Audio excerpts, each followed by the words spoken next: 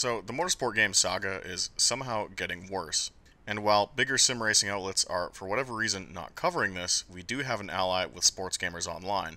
Managing editor Mike Straw has put out a tweet stating NASCAR is trying to get out of their contract with Motorsport Games, which is a good thing, and Orange Show Speedway track announcer Alan Bailey claims lawyers for NASCAR have actually been in this battle against Motorsport Games for months. Make of that what you will. Mike's article should be coming soon. I will link it in the description when it goes live.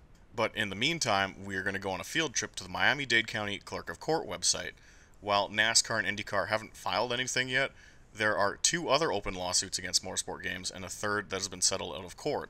They will be linked in the description below so you can read them in full, but let's just go over them briefly. Lawsuit number one. So, analytics company BlueConic filed a lawsuit against Motorsport Games' parent company Motorsport Network in December of 2021 BlueConic simply claims Motorsport Network didn't pay them the 27 grand agreed upon for their analytics services. Motorsport Network filed a motion to dismiss because it's in the wrong court. Lawsuit number two. This is the other open one right now, and it's a bit more detailed. So, a company called Elida owns a developer called Digital Tales, who was working on a World Superbike game.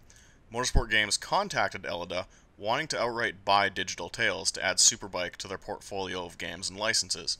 So Motorsport Games told Elida to stop negotiating a sale with other venture firms and that Motorsport Games would just buy them in due time. So Elida agreed to do that. But Motorsport Games never actually followed through with the purchase. The entire scheme, Elida claims, was a ploy by Motorsport Games to get them to stop working on a Superbike game and kill the company, which, I'll spell it out for you, would therefore free up the Superbike license so that Motorsport Games could acquire it. Motorsport Games filed a motion to dismiss this on technicalities.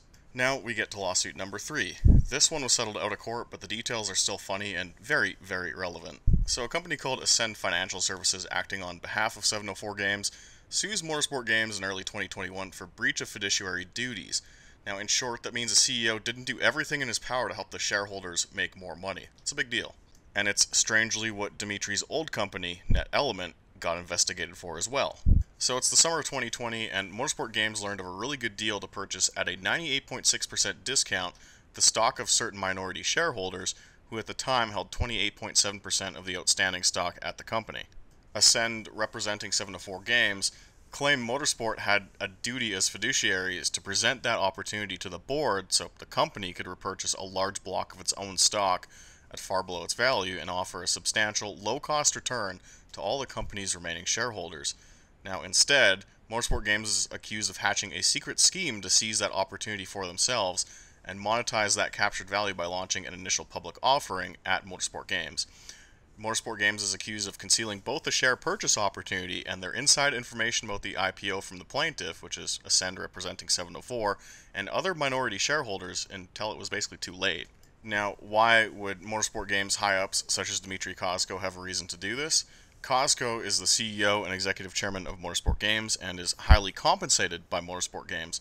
Pursuant to the terms of his employment agreement with Motorsport, Kozko receives a generous compensation package that includes, among other perks and benefits, an annual base salary of half a million dollars, which salary is subject to annual increases of over 100%, as well as additional incentive compensation, including cash payments of up to a million dollars or significant stock options upon the successful consummation of the IPO.